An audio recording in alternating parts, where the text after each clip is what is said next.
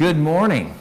My name is Billy Crane. I'm the pastor here at Christ Church Kerrville, and I'm sorry for our delayed start. That you would connect our uh, camera to the live stream so that those people who aren't able to be with us today, who would long and desire, who long and desire to be a part of our fellowship in this way, would be able to connect. Lord, they are your children, and that you love them, and uh, this has been a blessing for them. And we pray that you would do this, Lord, and uh, give uh, Ed and Thu and wisdom as they seek to navigate these problems in the midst of this time, Lord. We lift these things up in Jesus' name. Amen. Um, welcome. It's up? All right. There we go. No, thanks Lord. Okay. Well, that's good. Well, let's pray again. Father in heaven, we thank you and praise you that you would answer the prayers of people, of your people, even someone like me. Uh, we pray that this would continue throughout the service, and we ask, we thank you that you are gracious and merciful and kind in the little things as well as in the big things. In Jesus' name we pray. Amen. All right. Well, today, uh, as we prepare, we're going to take a few minutes to prepare our hearts for worship. And I was looking at the call to worship this morning, and in the second um, paragraph it says, Come, everyone who thirsts, come to the waters, and he who has no money, come buy and eat. You know, one of the things I love about the Christian life is that Jesus doesn't say, Hey, everyone who's got everything together, everyone who's perfect, you may draw near to me. He says, if you're needy, if you're hungry, if you're thirsty, I am for you. I am the place for you. Come draw near to me that I may fill you, that I may satisfy you. And I hope and pray that that is what happens this morning. That in your place of neediness, that you come and drink deeply of the greatness of our Lord and that He would meet and satisfy you here. And I ask that you would take just a few minutes. Uh, you may use uh, the bulletin, some of the words of preparation to prepare your heart to um, uh, uh, prepare you to worship the living God. In Jesus' name we pray. Well, amen. Right. Thank you.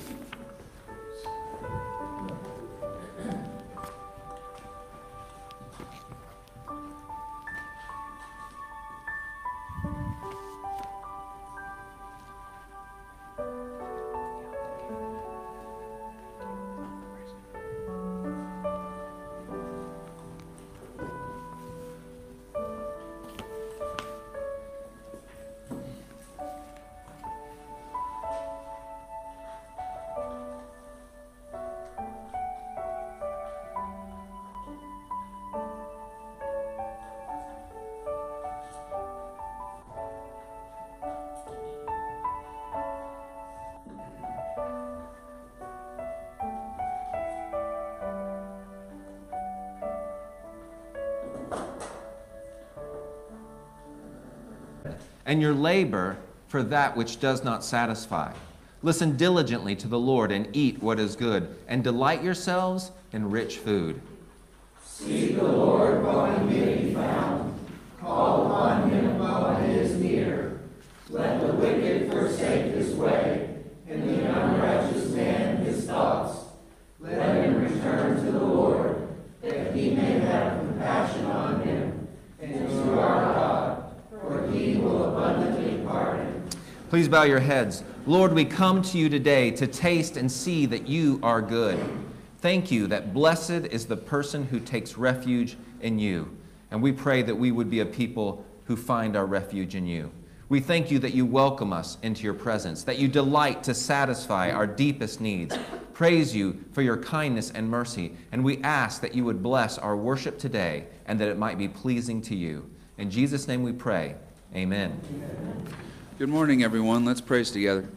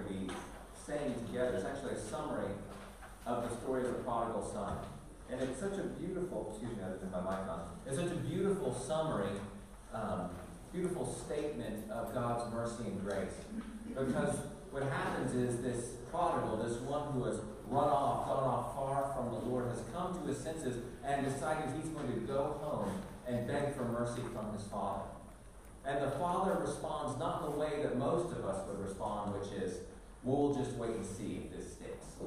Or, are you really serious? Or, you know what? No thanks. Um, try again. Try a little harder. No, the father welcomes the son in. And he doesn't, he doesn't um, set him aside and tell him to go someplace else, but he welcomes him and throws a party to celebrate his return. And that's the Father's heart towards us.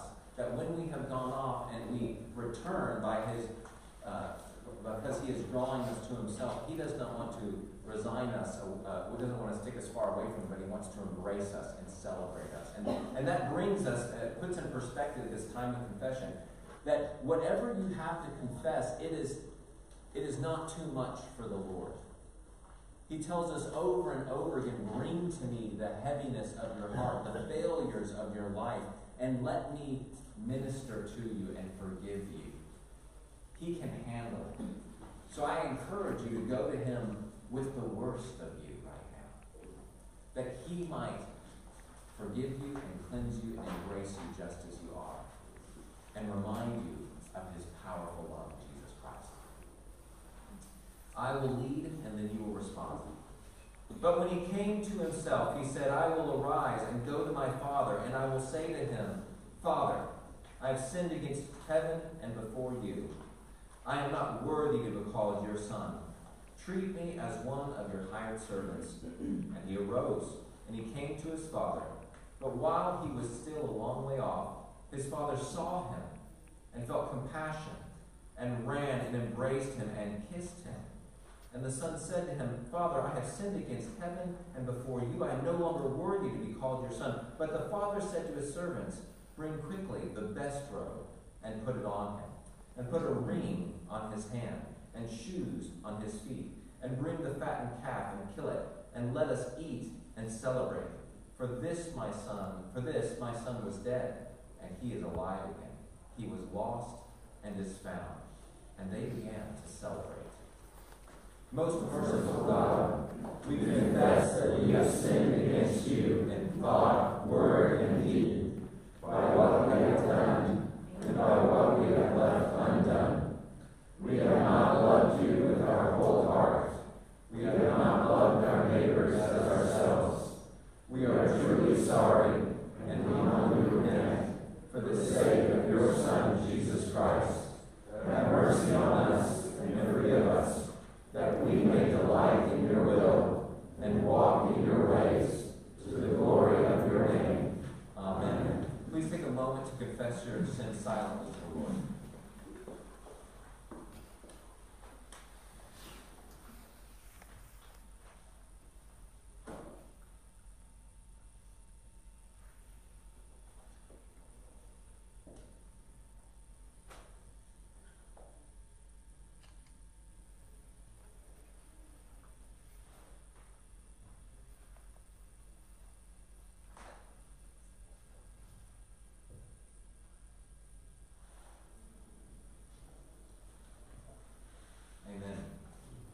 Please stand and receive the assurance of the gospel. The mercy of the Lord is from everlasting to everlasting. May the God of mercy, who forgives you of all your sins, strengthen you in all righteousness, and by the power of his Holy Spirit keep you in eternal life. To those who repent and look to Jesus Christ for their salvation, the forgiveness of sins is effected in the name of the Father, and of the Son, and of the Holy Spirit. Amen. Amen. Uh, amen. Sorry. I'm sorry, my fault. Our help is in the name of the Lord. The maker of heaven and earth. O Lord, open our lips. And our mouths will declare your praise. Glory be to the Father, and to the Son, and to the Holy Spirit. As it was in the beginning,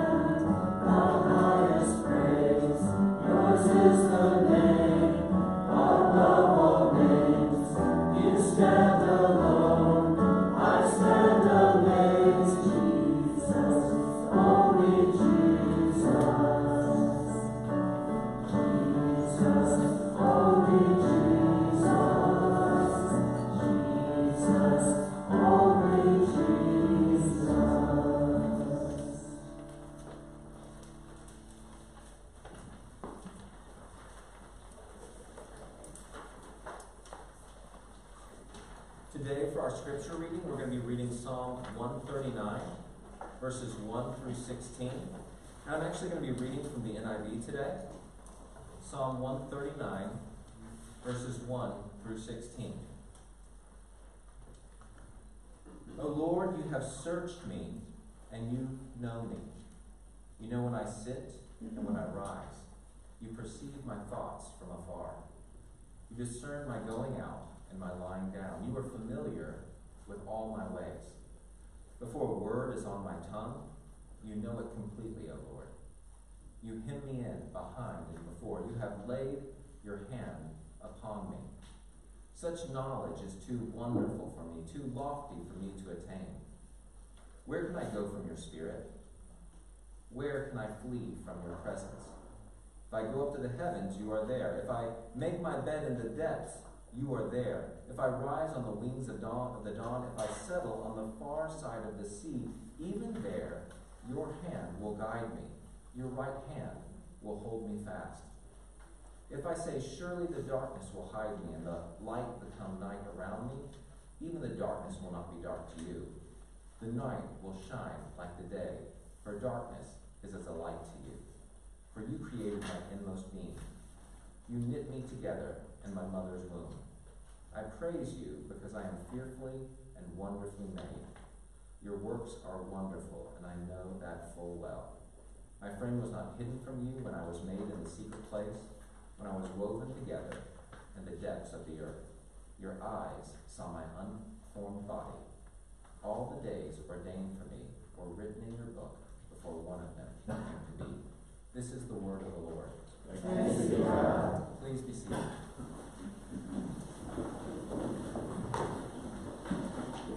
Uh, today, for our pastoral prayer, just the first part of it is shaped by parts of Psalm 48. So um, hopefully you'll hear hear some of that coming out. So with that, please bow your head as I lead us in Psalm in the pastoral prayer. Lord, you say in your scriptures that great is the Lord and most worthy of praise. Lord, how true this is. You are great and you are worthy of praise, worthy of our praise. When you are among us, you are a great fortress. When the kings of the earth oppose you, even if they were all to join together, they cannot stand before you. Like Pharaoh, they will be crushed as they flee in terror. Because we dwell with you, we will rest secure. Within this place, this humble house where we dwell, to where we are to worship you today, we pray that we would meditate on your unfailing love. Your name is great. Fill our hearts with praise as we see your goodness.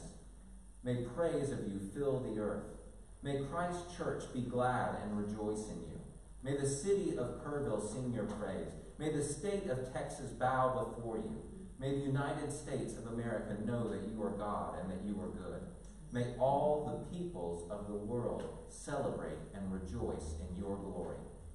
We thank you and praise you that the day will come when every knee shall bow and every tongue confess that Jesus is Lord.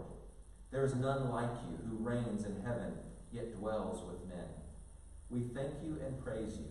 You are our God forever, and you will guide us to the very end. Father, we come to you today sensing our own weakness and frailty. We need you. We need a solid rock to stand on in this difficult and challenging time. Put an end to this coronavirus.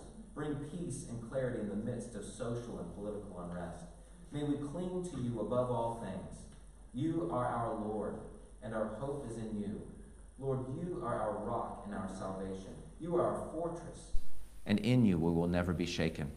In the aftermath of this election, we pray you would remind our hearts that our trust is in no human leader, but is in you, our great King. May we trust in you with all our hearts and lean not on our own understanding. May we acknowledge you in all our ways and have confidence that you will make our path straight. Father, we lift up to you those in our community who have suffered the loss of a loved one, and we have had meaningful time with her in her final days. Father, comfort and strengthen Adam, Kirsten, and Adam's family as they continue to grieve Adam's father's unexpected death from COVID. This is such a painful, difficult, and heartbreaking loss. May they know you are near, and would you give them peace? Lord, we lift up Ann Huey and her family as they mourn the loss of our dear friend and brother Jerry. Draw near to them, and particularly her, and comfort her. We lift up Joan Wilton as she continues to mourn the loss of her husband Herb. Comfort her and give her strength in the midst of sadness and uncertainty. Lord, we also lift up Jonathan Jones and his family as they mourn the loss of Wanda Jean, your precious daughter. Give them the freedom to grieve. Draw near to them through your word, spirit, and the love of your people. Lord, we lift up Halsey and Ray in the wake of the passing of Halsey's father. Comfort her in her loss and give her peace. Lord, we pray for those in our midst who are hurting and sick and in need. Father, we lift up Melody Justet. Bring peace to her body and give her the strength to endure. Heal Kathy Lester of the complications she is experiencing from her aneurysm procedure. Lay your hand of blessing upon Deborah as she deals with the effects of Parkinson's. We thank you that Cindy Holmes is finished with her cancer treatment. Please continue to heal and restore her body. Father, we also ask you to be with those who are suffering financially. Provide for them, meet their needs in abundant and creative ways. Give them cause to praise you before the world. Lord, with all that is happening, we ask for your comfort. And we praise you that you are the God of compassion and the God of all comfort, who comforts us in our troubles. Bring us comfort that we may comfort those who are also in trouble. We pray now together these words Jesus taught us to pray Our Father in heaven, hallowed be your name. Your kingdom come, your will be done, on earth as it is in heaven. Give us this day our daily bread, and forgive us our debts, as we also have forgiven our debtors. And lead us not to temptation, but deliver us from evil. For yours is the kingdom, and the power, and the glory forever. Amen. Well, welcome again to Christ Church. So glad that you're here in this most unusual of circumstances, being down in the basement. Uh, I want to greet everyone who is watching with us online, and we apologize for any technical difficulties. We're still trying to figure those things out. Uh, figure things out. Uh, as I mentioned last week, um, in this season of the year, we are in the basement for a few weeks. In fact, we'll be here for the next five Sundays. And just a reminder, please don't touch any of the furniture upstairs.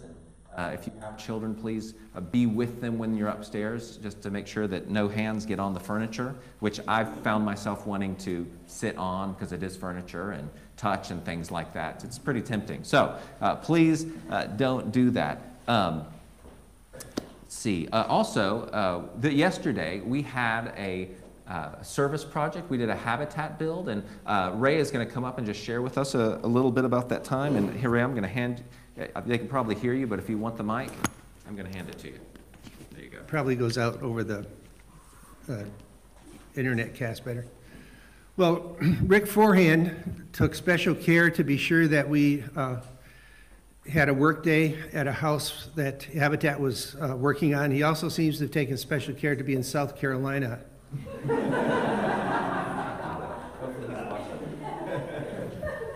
but he has a good excuse. He's a grandparent, and so he was tending to grandparent responsibilities with his grandchildren.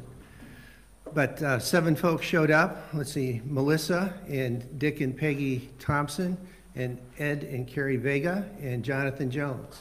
So uh, there was a house that needed the interior doors painted and the interior uh, woodwork frames around the doors painted. We were able to do all that, started about 8 o'clock, ended right around noon. So there's at least one coat on all of that. So I expect they're going to have somebody come back behind us and do a second coat. And uh, we also discovered some things that needed to go on the punch list of things. I wish I could have been there. But um, I'm so grateful for all of y'all who went. And those times together, um, yet we are definitely, we want to be the hands and feet of Jesus to love people. Um, that's one of the reasons we do it. And we are a church that wants to bless and love our community. And in the process, the Lord is kind to bless our fellowship and time together. So we see those times of service as a way to give and to receive, to receive blessing and to enjoy one another and get to know one, know one another as we work together. So thank you also. For, uh, thank you for doing that. Um, this Thursday, uh, at, at, the church offices, we're going to be having a short communion service. As we mentioned last week, one of the changes that we're making is we're going to have uh, a minimum of two uh, communion services during the week, particularly for those who have not been able to attend worship regularly. So uh, we'll have a regular schedule that we'll set up starting in December with the month of Thanksgiving, uh, starting at th- uh, in November with Thanksgiving. We just haven't gotten the schedule lined up, but this Thursday at 12:15 uh, during yeah during the lunch hour for those, particularly for those of you who cannot attend, we'll be having a communion service there. Uh, so please join us for that. Uh, my final announcement, and just make sure here, I think that's all the announcements. Is there anything else I missed? Great. Uh, the final announcement is today, uh, who Terry Dykstra, the RUF International Campus Minister at um, the University of Texas, is going to be preaching for us. I've talked to you many times about RUF because we've had many RUF campus ministers come. RUF, Reformed University Fellowship, is the national college ministry of our denomination. It's in a sense the church reaching out to the college campus, and I think of all of our campus ministers as our college minister from our church going to these campuses to love the students from our churches who are going there and to be and to reach out to students who, who don't know Jesus or have just wandered the faith. RUF also has a branch called RUFI or RUF International that focuses particularly on the international students who come to our campus. One of the amazing things about our country uh, is that we have a wonderful education system that people from all over the world want to come and be a part of. And therefore, uh, yes, we can go to the nations with the gospel, but thankfully, a lot of the nations are coming to us and they're coming to our campuses and they're eager to learn and they need friends. And so uh, we're grateful for the ministry of RUFI. When Terry comes up to preach later, he's going to share, uh, well, I hope he is, he's going to share a little bit about himself. Uh, but I just wanted to let you know about that ministry. It's a wonderful ministry, um, and I'm grateful for it. And this week, and for the next two weeks, in our weekly newsletter, we'll have some contact information for Terry uh, so that if you want to get on his mailing list or be a part of his prayer team, or you'd like to learn how you might want to support him financially, the information will be there for you to connect with him. He'll also be up here after the service up front if you'd like to speak with him and just meet him and learn more about his family and his ministry. But thank you for being here today, Terry. We're really grateful. So uh, now, as uh, for the passing of the peace, uh, the peace of Christ be with you. Take a few minutes to greet each other. We will be back here shortly. sounded like we were going in different directions. It sounded like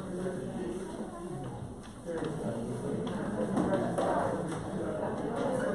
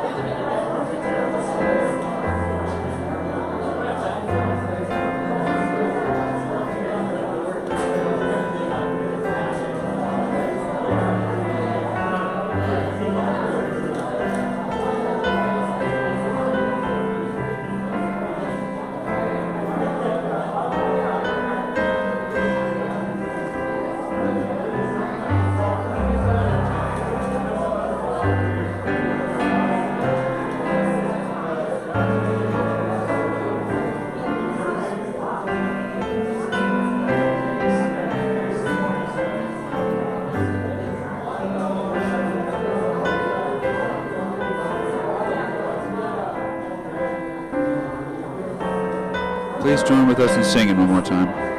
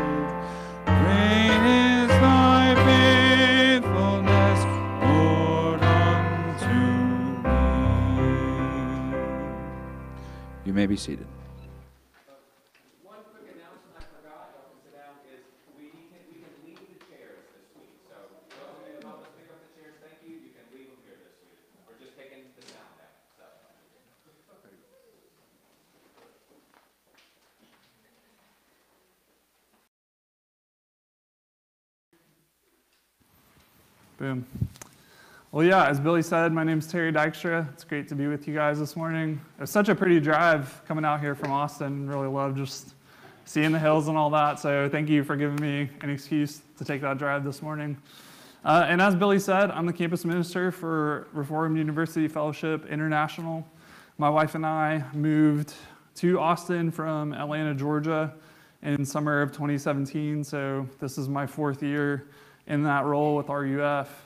And what we want to do, especially in our focus to international students, is to welcome the nations to Austin, to the United States through hospitality, through fellowship, through community in Jesus' name, but also to give an opportunity to explore the gospel with them. You know, in some ways, you know, like Billy said, you guys can think of me if it's easier than like campus minister and all this stuff. You can think of me as Christ Church Kerrville's pastor to international students at the University of Texas. It's it's such a great opportunity because you know the students are coming here, and obviously we send, we go out because God calls us to do that as well. But as students come here, think about any of you guys who have been in a new place, in a new situation.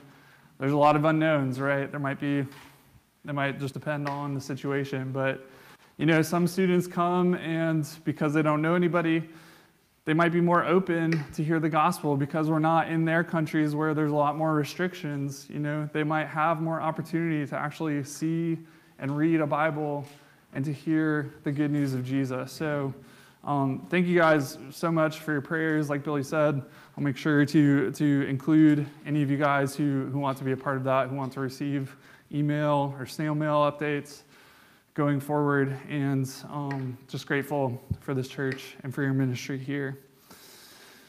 And would appreciate your prayers, you know, in this season, like a lot of people, most of what we've been doing with students this semester has been virtual, um, in part because of the university's guidelines, but also meeting students' comfort levels. Um, but we've experienced God's kindness in that. And so just would, would appreciate your prayers most of all. Our passage this morning comes to us from Mark chapter 9, verses 33 through 37. So if you would, please follow along with me as we read God's word. And they came to Capernaum, and when he was in the house, he, Jesus, asked them, What were you discussing on the way? But they, the disciples, kept silent. For on the way, they had argued with one another about who was the greatest. And Jesus sat down and he called the twelve, and he said to them, If anyone would be first, he must be last of all and servant of all. And he took a child and put him in the midst of them. And taking him in his arms, he said to them, Whoever receives one such child in my name receives me. And whoever receives me receives not me, but him who sent me. This is the word of the Lord. Thanks be to God. Let's go now to God in prayer. God in heaven, we thank you so much for your word to us this morning. We thank you for calling us to you, for giving us faith, and for working in us by your Spirit. And Lord, I just pray in this time that you would speak through me by that very Spirit that you would open our hearts and open our minds and our souls to receive your word, to receive you and your presence as you are with us this morning, Lord. And God, we ask that you be glorified in all that we do in our worship this morning and as we go from here. And we pray these things in Jesus' name. Amen. I was really excited for Billy to ask me to do this passage. It's, it's a great passage. It's easily one of my favorites, but it also follows some of my other favorite passages. You know, previously you got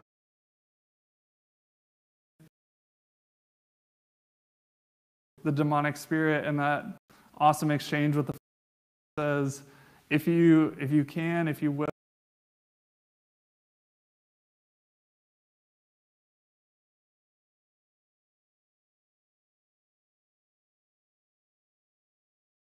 Often, um, and I would guess that I'm probably not alone in that.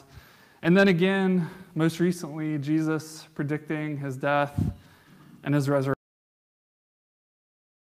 Things have happened. The disciples have been a part of those. They've seen those. You guys have walked through those in previous weeks.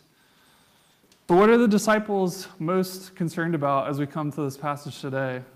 Are they discussing like the awesomeness of seeing the transfiguration? Are they talking about like, man, what does it mean that this kind of demon can only be healed by prayer?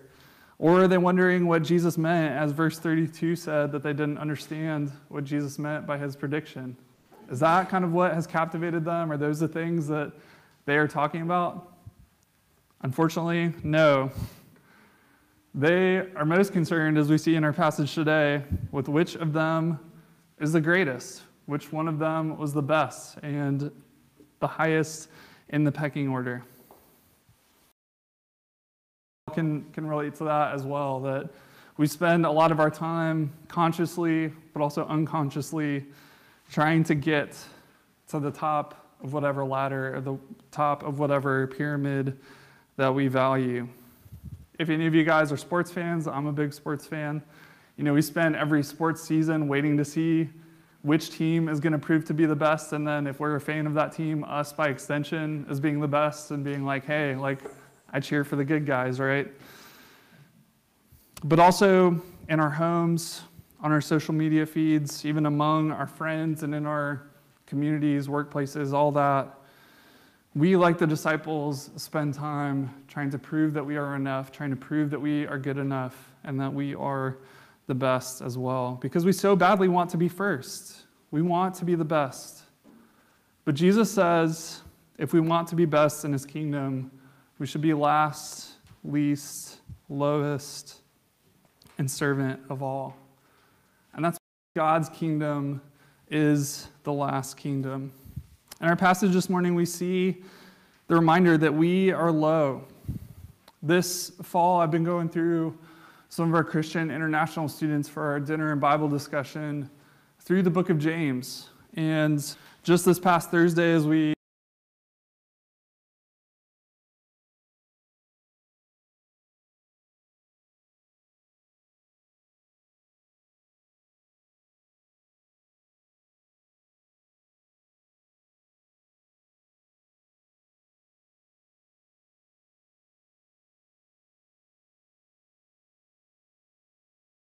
receive these promises of God, that we would receive His grace, and that He would exalt us.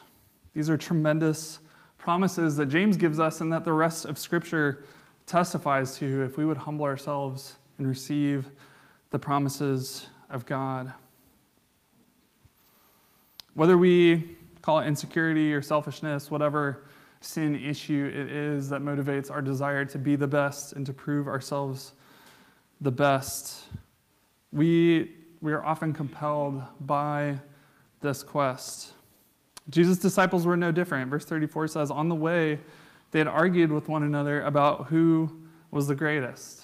And there's a few options, of course, right? Was it Peter, the cornerstone of the church? Was it James? Was it John, beloved disciple? Who was it?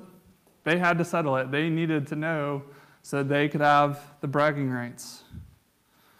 But when Jesus asked what they were talking about, they kept silent, probably because they were embarrassed, probably because they were ashamed about being captivated by something so trivial.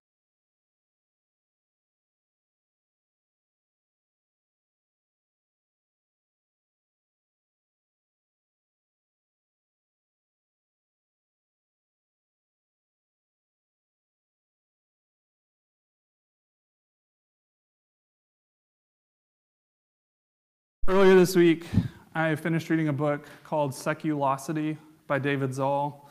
Um, it's secular, but with O S I T Y at the end.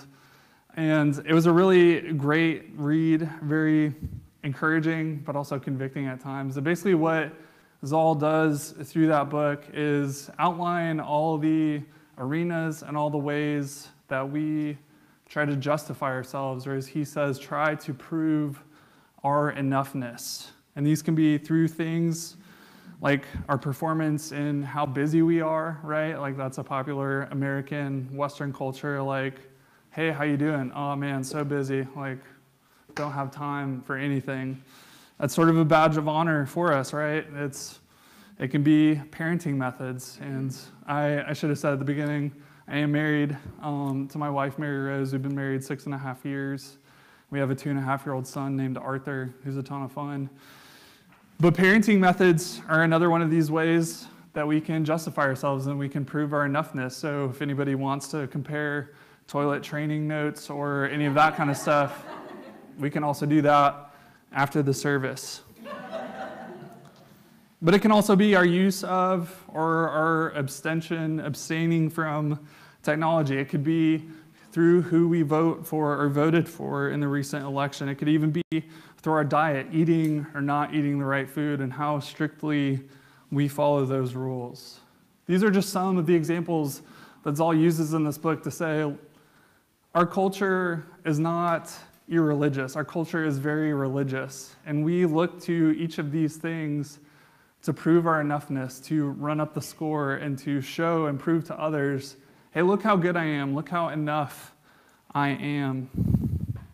This is how we justify ourselves. And this hits close to home because we want our resume in all areas of life, but especially socially, culturally, to be impressive. Like the disciples, we, in those ways, are trying to prove that we are the greatest and trying to settle that dispute once and for all. But Scripture has another evaluation of us, you know, whereas we, like the disciples, would say, hey, which one of us is best? Which one of us is closest to the top? Scripture has another value for us, and it reminds us that we are low. We are born into sin. We are born into nature as enemies of God, and we are even dead in our sins and trespasses from birth. Of course, there's nothing lower than the grave. And so, Jesus needs to teach his disciples a lesson about this. He needs to remind them of this truth. And so, he gathers them around, he assumes a posture of authority as he sits and as he calls them to gather around. And in verse 35, he says, If anyone would be first, he must be last of all and servant of all. In a way, he's almost rephrasing the foretelling of his death and resurrection from the previous passage. In his love for us, Jesus would become last of all and servant for all, as he became a curse for us, as he took the punishment that our sin and sinfulness deserves and went into the grave for us to defeat death for us in our place. And as he does this, he shows us how we are loved as he had told his disciples this very truth previously, but again, they, they didn't understand, as verse 32 mentioned. Jesus would sort of re show them in this passage we're looking at today. So he placed a child in front of them and among them, and he embraces this child. In Western culture, in America, especially somebody in my age and stage of life with a small child and friends the same age who have small children. You know, we love children. My Instagram feed, I'm guilty of this too, so I'm not calling anybody out, but filled with pictures of our kids and what our kids are doing, right? And like, so often, even with students I meet, they ask, like, how's Arthur? How's, you know, like, what's he been up to? Baby pictures everywhere. But this is not the culture that Jesus was in, and this was not the case for them then. R.C. Sproul pointed out that you know, in ancient culture, it was only once children reached an age where they seemed more likely to reach maturity that they had any dignity or any standing culturally, socially at that point. In part, the mortality rate for children five and under was so high that it was just kind of like, well, let's let's see once he gets to this age or she gets to this age, and then we can, you know, treat them as like a real person and a member of society. It was this person with no social or cultural dignity or significance that Jesus takes as a child and places among his disciples and says to them, Whoever receives a child in my name receives me. It's a child with, without that standing or that significance, who Jesus appoints to greatness as his ambassador, as his spokesman to the world to say, Whoever receives this child receives me. And not only that, but receives him who sent me. He's reminding his disciples, Jesus is, of the gospel. You know, as they're quibbling about which of them is the greatest, they're probably viewing that discussion and even views disciples, but also what they had seen or what they had done or even what they had experienced in the previous passage that you guys are working through. How often do we view ourselves and justify ourselves through that same criteria? Through our experiences, through our abilities, through what. As we do that, and even as seculosity reminded me and reminds us, the scripture does, we're ultimately looking for salvation in ourselves when we do that. We're ultimately looking for our justification. I'm a good person because I do this, of all reasons. He places a child among them and bestows this child with greatness, the greatness that the disciples were arguing over, to remind them that we are lavished by God. We are bestowed with so much gifts and grace and honor and dignity because of Jesus. And the good news of Jesus is that it is freely given to us. There is no payment to be made, there is no work that needs to be done because the work is finished. It's not based on our status, our ability, our experience, or even our resume. You know, thinking about John 3:16, that's that's the classic verse that comes up with international students too. And the good news is that it's not for God so loved Terry because he's a great guy, he's a thriving ministry, and is like a good husband and good father. No, it's not any of that. It's not that for any of us. It's for God so loved the world that he gave his only son, that he gave the body and blood of Jesus, which Jesus took on willingly to be a sacrifice for us. That is the criteria by which God says we are enough, that we are good enough because of Jesus' sacrifice for us. Like children, like the child Jesus placed among the disciples, we are totally dependent on God our Father, and we do not have much to offer, if anything. Jesus tells the disciples that if they would receive the child in his name, they would receive Jesus. And the one who sent Jesus as well, God the Father, which we know and do know from Scripture is what we need most of all, right? It's not to try harder, it's not to do better, it's to receive God and receive the body and blood of Jesus as it is freely given to us. And this should encourage us where we are, of course, that, hey, if we receive those who come in Jesus' name, we are receiving Him. That promise holds for us today as well. But that should also encourage us where we are because as people receive us, if we have faith in Jesus, if we come in His name, that should encourage us to say, like, hey, I don't have to have all the, the mission techniques or the experience or the seminary degree to be a witness to Jesus that others would receive him. Of course, I do have those things, but as y'all know, like the Christian life, the Christian ministry is not just for nerds like me who go to seminary and then get ordained and go through all this, this stuff. It's great. I enjoy it. I think Billy enjoys it. I can't really tell based on your facial expression through the mask, but hopefully, hopefully we're good. But I'm a nerd. I don't know if Billy is, but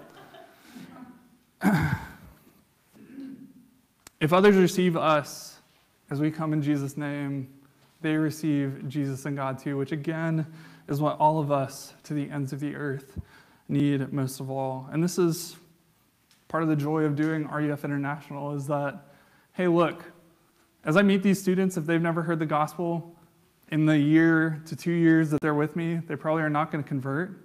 But who knows what God is going to do in these students? You know, who knows what seeds He's going to plant that they might come to faith at some point, you know, like maybe I'm the first stop, second, whatever.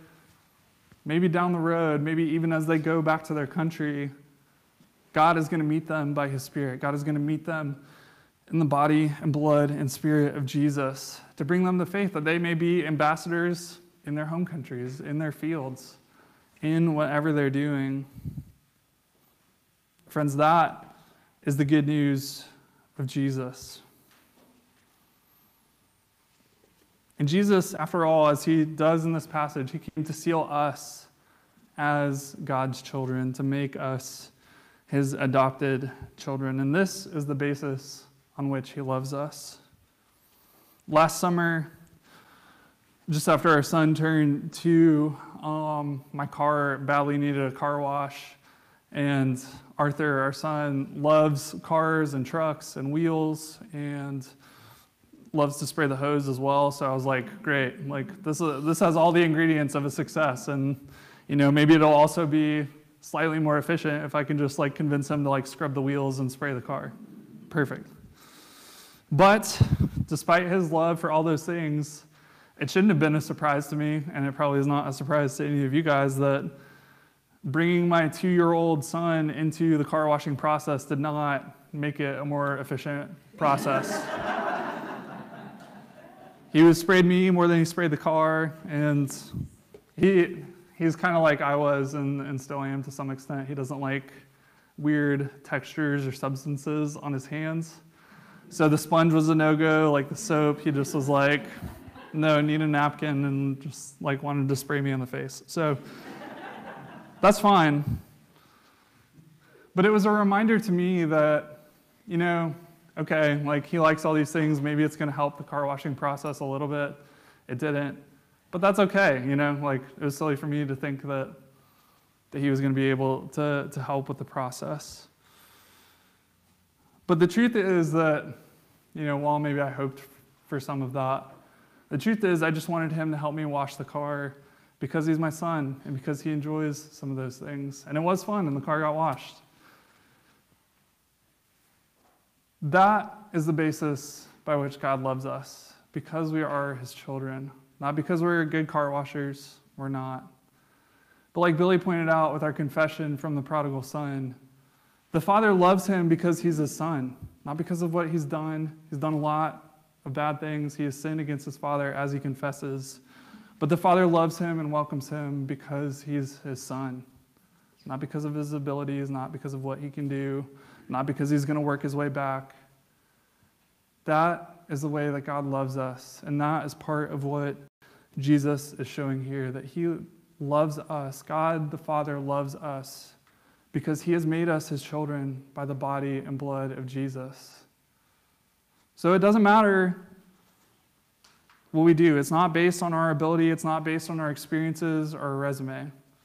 I don't mean to say it doesn't matter. You know, we are called to obedience. I'm not saying obedience doesn't matter.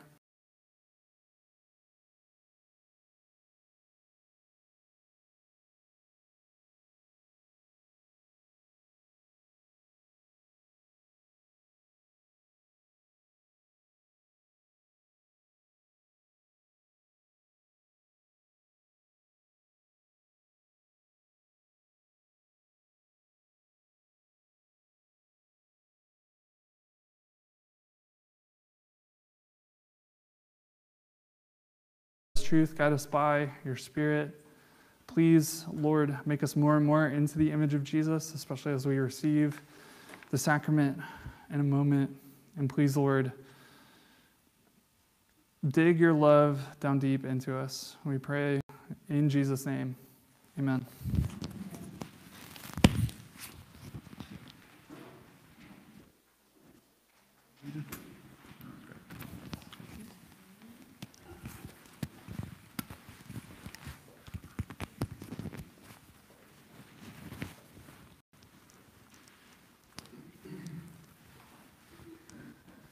We now come to the Lord's Supper. And this is a meal for sinners. This is a meal for people who recognize their desperate need for a Savior and have looked to Jesus Christ as their only hope. If that's you, if you have come to the point where you have acknowledged Jesus Christ as your Savior and Lord, this meal is for you, and we welcome you to it. If that is not where you have come, if you've not come to the place where you see your need for a Savior, and you haven't come to a place where you embrace Jesus as that Savior. And we want to let you know we are grateful that you're here. This is a good place for you to come and to learn more about who Christ is and to ask questions. But we ask that before you come to this meal, you come to Him first. Because by partaking of this meal, you are making a public profession of faith. And if you'd like to talk about that, we would love to talk about it with you please come and talk to me. I'd love to talk with you about what it means to become a follower of Jesus Christ. And you are even welcome to do that in your seat right where you are. Jesus will receive you as you come to him and acknowledge him as Savior and Lord and, and confess that your desperate need for him. The sermon today, in the sermon today, the, the question was being asked who is the greatest? Who's the greatest? In this meal, every week, points us to who the greatest is. It's to one who has given their body and blood, who has given his life so that we might live. And we, we hold it up before our faces. We would never forget that it's Jesus, our great Savior and Lord. Please join with me in these words from Psalm 9, I mean, from page 9. Lord be with you. May the Lord be with you. With Lift up his, your hearts. Let us give thanks to the Lord our God. Right and. Holy Father, creator of heaven and earth, it is truly right and our greatest joy to give thanks and praise to your glorious name. Amen. The Lord Jesus Christ, on the night that he was betrayed, took bread, and after he had given thanks, he broke it and said, This is my body broken for you. Do this in remembrance of me. In the same way, he took the cup and said, This cup is new covenant in my blood. Do this whenever you drink it in remembrance of me. For as often as you eat this bread and drink this cup, you proclaim the Lord's death until he comes again. Amen. Uh, today, when you come forward, we ask that this section would come forward to this table, starting at the front, and that this section would go to the back table, uh, starting in the back. We're going to try this, this, uh, this uh, way this week. So please come forward as you feel led.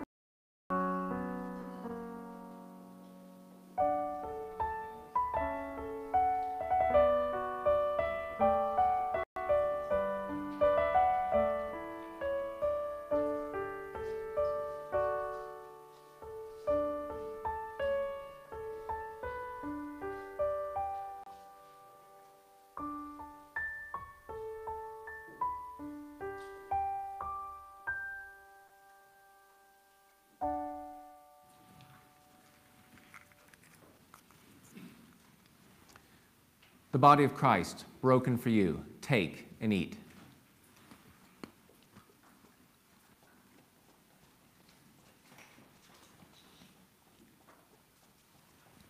The blood of Christ, shed for you. Take and drink.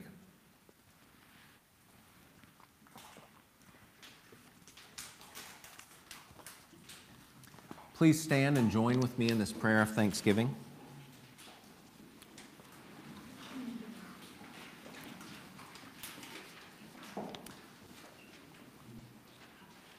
Most gracious God, we give thanks you for what you have given and for what you have promised us here.